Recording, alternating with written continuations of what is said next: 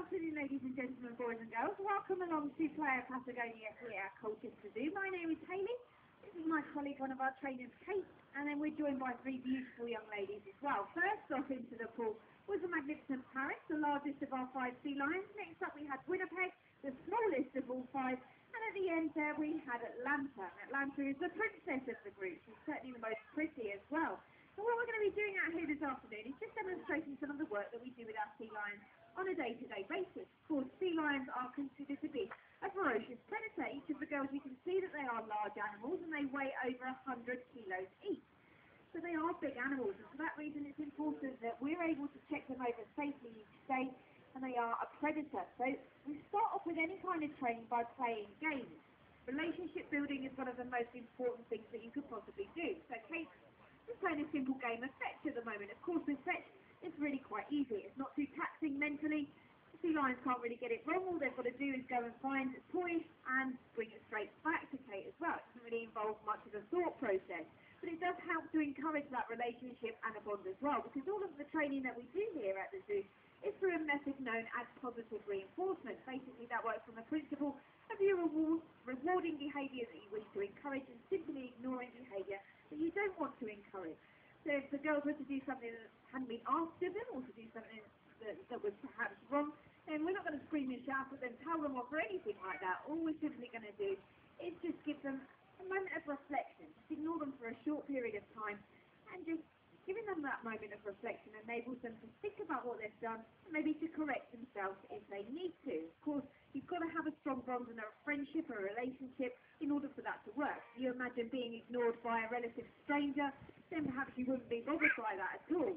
Whereas if you were to be ignored by one of your members of your family or perhaps a close friend, you'd certainly be more more worried about that and would perhaps think about what you needed to do in, instead. Now we're moving on to making things slightly more difficult and more complicated. Out in the wild, these sea lions would be really quite active. They'd have to hunt for their dinner. Of course, here at the zoo, they don't need to worry about hunting. They might just wonder when they're going to next fed, get next fed, but certainly not where their food's going to come from. They know that we'll provide that for them. So it's important that we get them thinking just as they would be out in the wild. They're very good at hunting and they're good predators. So what we're doing now is just a bit more difficult. They have to go back out into the pool and retrieve some items as well, which they did a fantastic job of there. And you would have seen Kate giving each of the sea lions a cue, a signal to go back out into the pool, have a look around, use one of those natural senses and see what they could bring back. Now in this case it was toys, so alternatively they would be performing that behaviour correctly if they found a rock and brought that back, maybe even a leaf, or sometimes careless people do deposit their mobile phones into our pool as well. So the sea lions will even retrieve those for us in addition as well. And you can see that that relationship building really pays off because Kate's able to get really close to each of the sea lions and check them over. It's important that we can do this on a day-to-day -day basis. So you see with Paris there at the end, she was checking over her body, making sure that Paris didn't have any lumps, any bumps, any cuts or grazes at all. We can also ask the sea lions to lift up their flippers if necessary as well. They are, of course, supporting their body weight on those flippers as well. And Paris in the here, she's certainly the heaviest. In the winter months, she can even get to 150 kilos. So it's important that we do ask the girls to lift their flippers up, because just as you would with a horse, you wouldn't be able to see the underside of their foot if you didn't ask them to lift it. So we ask the girls to lift both the front and the hind flippers to check that they haven't hurt them as they're walking around on them as well. Also on their hind flippers, they've got some very small nails as well, just using like we would perhaps to scratch, and maybe these girls also use them for grooming as well. So in the way that a person can clip their nail and certainly pull it slightly, the, sea lions could do that as well. So we also check those nails and make sure they're intact. But some of the most important husbandry behaviours that we have in fact trained involve the head area. Of course, just like people, sea lions have got eyes and ears. And you can see on the side of the girls, got very small external earlobes. This is one of the differences that tells you whether they're a sea lion or a seal, because a seal doesn't have these earlobes. They've just got a hole on either side of their head. You can have a look now with Kate and Atlanta at the far end. What she's doing is showing you those ears, but she's having a look at Atlanta's eyes closely as well. They're in, swimming around in salt water, and of course this is the best kind of environment that we can provide for the sea lion. It doesn't necessarily always rule out the possibility of eye infections or ear infections. So just checking them on a day-to-day -day basis make sure that we can pick up any problems easy. You can see that Atlanta was perfectly happy to sit nice and still. She'd even sit still long enough for us to administer either eye drops or ear drops if the need arose. And because they keep their head entirely still, we can definitely make sure that, that all of that medication is going to reach the desired location as well. This is perhaps one of the most fishy jobs that involves uh, us as part of our day, and that's checking inside the girl's mouth. Those of you that are a bit closer might be able to see that Winnie and Paris say they don't have any white enamel on their teeth. It's not because they've got poor dental hygiene or anything like that. Sea lions' teeth are supposed to be dark.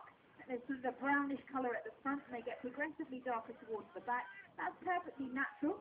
But if the case arose and we did need to get a closer look at their teeth, they'll allow us to do that with even being able to brush their teeth with a small toothbrush if necessary as well. And of course, eating a diet primarily consisting of fish, we don't gut them, they eat them whole. We need to make sure that they don't have any small fish bones sticking in between their teeth, poking their gums, which could cause them some discomfort, potentially build up and cause a, a bigger problem as well.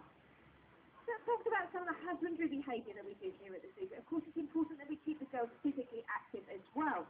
So what you're seeing now is us utilising some of the natural behaviours that they would be performing out in the wild. There's a behaviour actually called porpoising, and it's probably associated with dolphins, but as you can see, the sea lions are perfectly well equipped at doing this. And the reason that they will do this porpoising is because they're marine mammals. They're not actually able to breathe underneath the water. It's just like us, if we're swimming, we have to keep coming to the surface, and so do they. Especially important if they're being chased. So the predators out in the wild consist of great white sharks and killer whales, and they like to chase the sea lions. So in order to make their escape, they will do that porpoising motion taking a short, sharp intake of breath as they're trying to leap out of the water to avoid the predators as well. It's a very useful tactic as well. And sea lions can in fact close their nostrils when they're underneath the water, and this helps them to prevent getting water up their nose and down into their lungs. And when they're at rest, they can actually hold their breath for about 35 to 40 minutes. So unlike us as people, of course, we've, we've not got the lung capacity to be, to be able to do that, but very, very clever. So don't be alarmed if you see the sea lions a bit later on after they've been having a nice uh, snack here this afternoon, just like us eating a roast dinner and going to sit in our armchair and having a nice rest after our dinner. We'll actually lay either at the bottom of the pool or sometimes on top of the tunnel there in order to allow that meal to digest as well. I just told you a little bit about our sea lions. They are each available for adoption. I'll just recap their names. We've got Paris who's currently doing some lovely porpoising in the pool there. She's the largest of all the girls. Bit of a bossy boots as well. Next up we've got Winnipeg. She's the clown of the group. Very mischievous, very playful, very entertaining sea lion. And at far end there we've got Atlanta, our princess, the prettiest of all five of the girls. Big eyes, lovely long whiskers, and a bit of a diva as well. So a bit stubborn sometimes in addition to that as well. So if you'd like to find out more about adopting any of our sea lions, do head over to guest services and our colleagues there will be happy to provide you with further information. So now, though, on behalf of Kate and myself, we'd like to thank you very much for joining us here at Colchester Zoo. Of course, 2013 is our 50th birthday year as well, so we thank you very much for coming to visit us on such an important year, for your continued support, and we'd like to wish you a very pleasant afternoon here today, but also look forward to welcoming you again in the future as well. So thank you very much. I think you should give Kate and our three beautiful girls here a big round of applause as well.